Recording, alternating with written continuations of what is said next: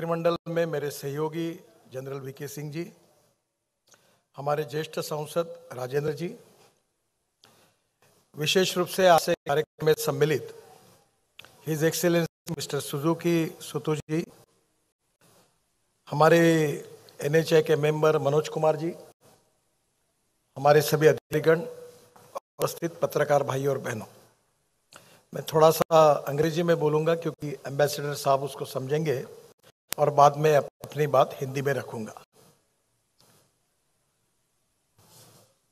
First of all, it is a great event in the history of Indian road infrastructure that today we are starting the first intelligent transportation system. I always telling the people that the innovation, entrepreneurship, science, technology, research, skill and successful practices, we name it as a knowledge and conversion of knowledge into wealth is the future for the country. As far as the road sector is concerned, there are a lot of positive points. But one of the point which is really hurting to my mind, that is every year in India, we have 5 lakhs accidents and 1 lakh 50,000 deaths. We need to improve our road engineering. The engineering is very, very important. The education for the people is equally important. Emergency after accident, giving appropriate service to the people is very, very important. And the most important thing is the education by which we can train the people. Regarding road engineering, we are already taking a lot of measures. And first of all, we have decided to make a green express highway. His Excellency, it is really important for us. For making, we are making 26 green express highway. And by cooperation of Japan government and JICA, with your finance, your help, we are successfully implementing the intelligent transport system in Ghaziabad. It is the constituency of our honorable, my colleague, Mr. Dr. V.K. Singh. And our idea is to make this system into the NHI headquarter by which we are going to control all NHI in the country where we can take advantage of the technology by which we'll not only we will get the toll but we will control the rules and regulations related with the road safety. So this is really a great thing for me that presently we are now planning to make 26 green express highway already some of the express highway we are already working and it is to be a pleasure for me as far as delhi is concerned Delhi to Meerut is one of the express highway which is very important. All over here, Delhi peripheral ring road is there. And now the presently Delhi Meerut is going up to the Dehradun. So this first express highway in this area, which is going to be helpful for the people of this area. The other express highway we are going to plan from Delhi to Dehradun within two hour express highway starting from uh, the Swaminarayan Mandir. And uh, at the same time, we are making Delhi to Amritsar 4 hours, Delhi to Katra 6 hours, Delhi to Srinagar 8 hours, and Delhi to Dehradun 2 hours, Delhi to uh, Haridwar 2 hours, and Delhi to Mumbai 12 hours. So this is going to change the total scenario of road infrastructure in the country. So really, I am giving my special thanks to you and your government for giving cooperation from JICA and giving new technology, new vision for all of us, which can be important for this is the beginning of new era of smart and green highways in India. And because of your guidance and help and financial assistance, it is only to be a great achievement for all of us. I am giving your JICA people for giving help to us. I am very much thankful to you, giving my thanks to you from Government of India.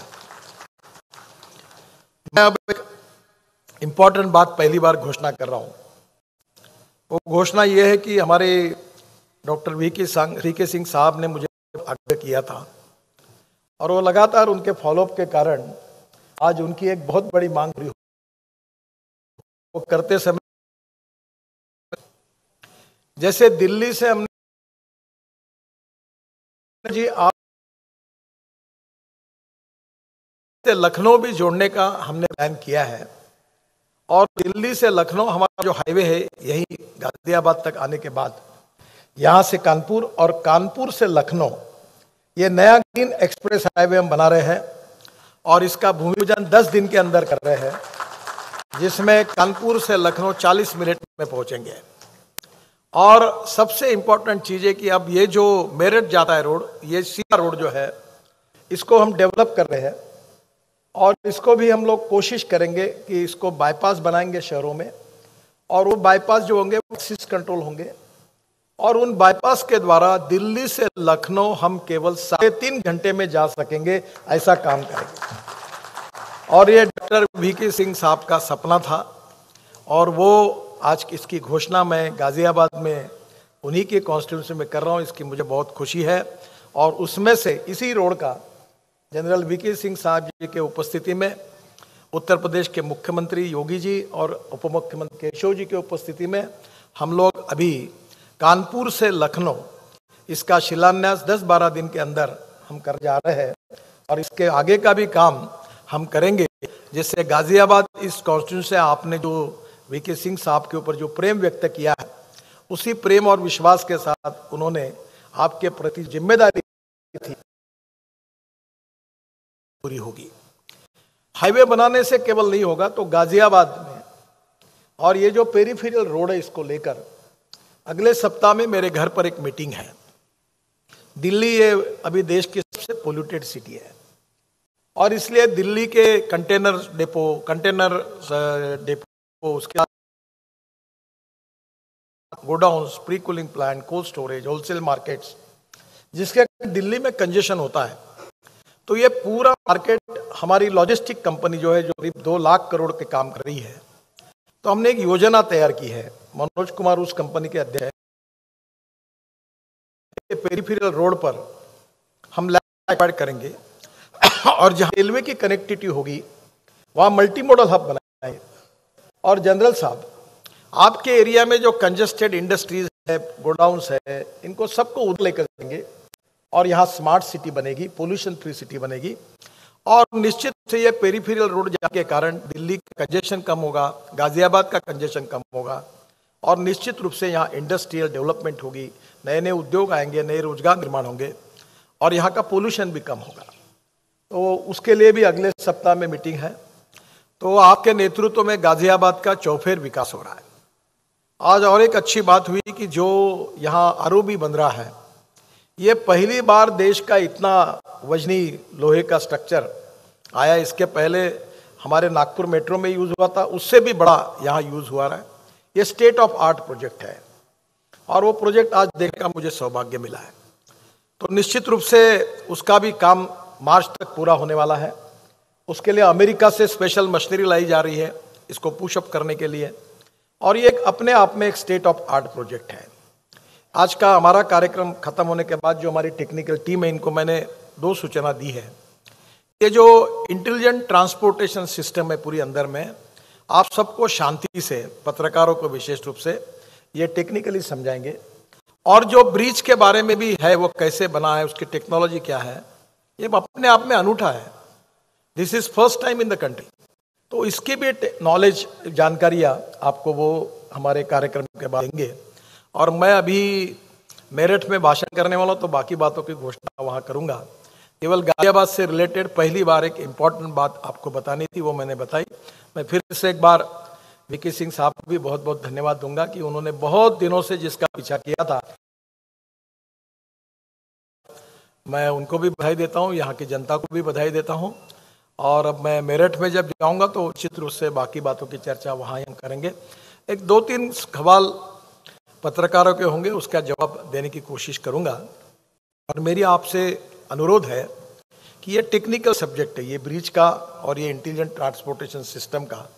तो exactly ये system क्या है, इसके परिणाम कैसे होंगे, इसका फ़ायदा कैसे होगा, यहीं से कंट्रोल कैसे होगा एक्सीडेंट कैसे रुकेंगे ट्रैफ़िक कैसे स्मार्ट होगा, ये वर्ल्ड में सब जगह है। तो पहली बार देश में आएगा और हर रोड पे अब ऐसी बनेगी। और हम एन में तो इसका एक पूरा सेंटर इंडिया का बनाने जा रहे हैं। तो एक जगह से देश के सभी रोड का एक एक स्क्रीन पर पूरा कंट्रोलिंग होगा। छोटी सी भी बात गड़बड़ हुई कि कोई चोरी करके भाग गया, उसका नंबर होगा। तो विद इन दस मिनट पता चल जाएगा कि कौन से लाइन पे गाड़ी कहाँ भागी है। तुरंत पता चलेगा। यानी किसी भी लिए या टेक्नोलॉजी सबके लिए बहुत इंपॉर्टेंट है। इसमें ट्रक जाएगा तो वो पता चलेगा, रुका तो वो पता चलेगा। तो मुझे लगता है कि ये टेक्नोलॉजी में जो बहुत बड़ा इनोवेशन हुआ है जो जापान की और आ, हमारी जायका के सहयोग से हुआ है उसका भी ये प्रोजेक्ट मुझे देखने के लिए मिला है। उसके बारे में मैं फिर से एक बार आपको दोहराऊँगा कि this is the beginning of new era of smart and green highways in India मैंने दो दिन पहले उत्तर प्रदेश में कहा था योगी जी के उपस्थिति में कि पाँच साल के अंदर उत्तर प्रदेश के रोड अमेरिकन स्टैंडर्ड के बनेंगे और यूरोपियन स्टैंडर्ड के बनेंगे। तो मुझे लगता है कि उसी की एक शुरुआत है और उत्तर प्रदेश में ये बना हुआ है। तो आगे चलकर हम इस सर्विस स्टेट पीडब्ल्यूडी का भी इंचार्ज केशव जी है। आपको ज़रूरत होगी तो हम ये पूरी टेक्नोलॉजी आपको फ्री ऑफ़ चार्ज आपके रोड के लिए भी उपलब्ध करा कर देंगे। बहुत बहुत धन्यवाद।